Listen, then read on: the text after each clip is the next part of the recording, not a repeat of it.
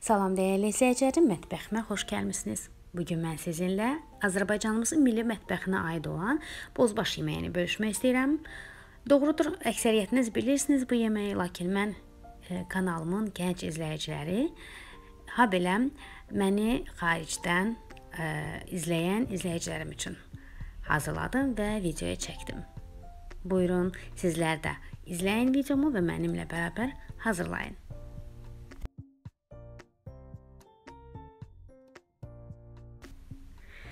Öncə ə, e, axşamdan bir gün axşamdan mən noxudu qoymuşam islanmağa.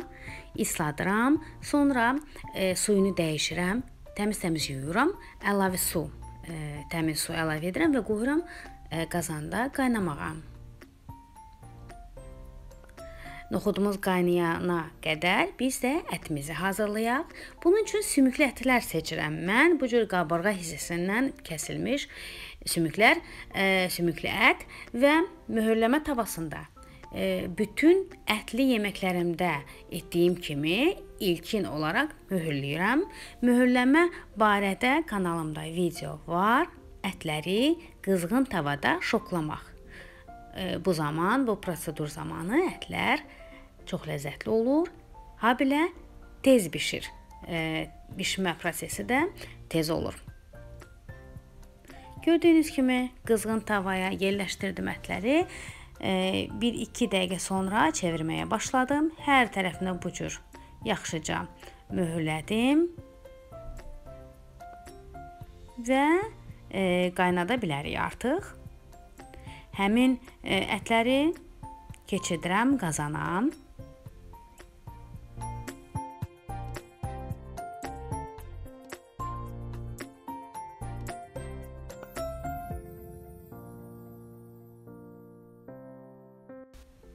Üzərinə çaynikdən qaynaya-qaynaya su əlavə edirəm və bir ədəd baş soğan da əlavə edib içərisinə qoyuruq qaynamağa. Yarı bişəndə ətlərimiz üzərinə duzumuzu əlavə edirəm. Duz zövqdən asılıdır.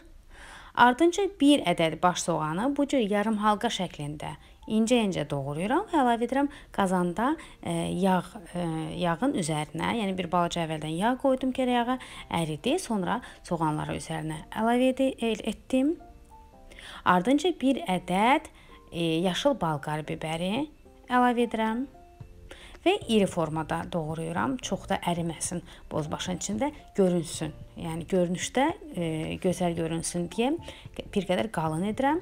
Sonra həmin e, qaynayan suda e, ətləri çıxarıram, kənarda sümüklərindən ayırıram, e, təmizləyirəm. Mən bu cür daha çox sevirəm və əlavə edirəm digər biber və soğanın üzərinə.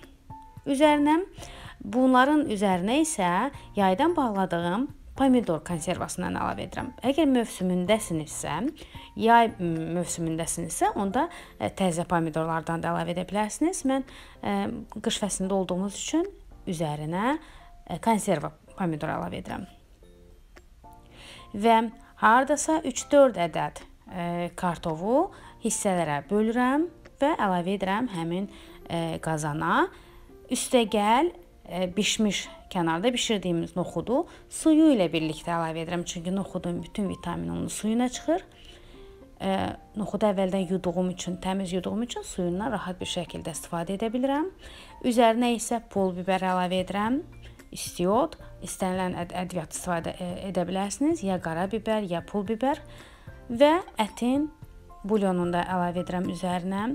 Əti qaynadan zaman e, kontrol etmək lazımdır ki, e, həddindən çox bulyonu da qalmasın, az da olmasın. Yəni üzərinə əlavə edə biləcək qədər qalsın və duzunu kontrol edirik, ətin suyundan kontrol edirik və azdırsa bu məqamda duzunu da bir qədər e, əlavə edirik və qoyuruq birlikdə bişməyə. Ətlərimizi e, o zaman götürürük ki, e, tam bişir. Lakin hədsiz dərəcədə əritmirik ki, çünki burada kartofla birlikdə də bişəcək. E, ona görə də e, o məqama diqqət etmək lazımdır. Bəli, bişdi. Bütün dadlar bir-birinə qarışdı. Kartofumuz da bişdi.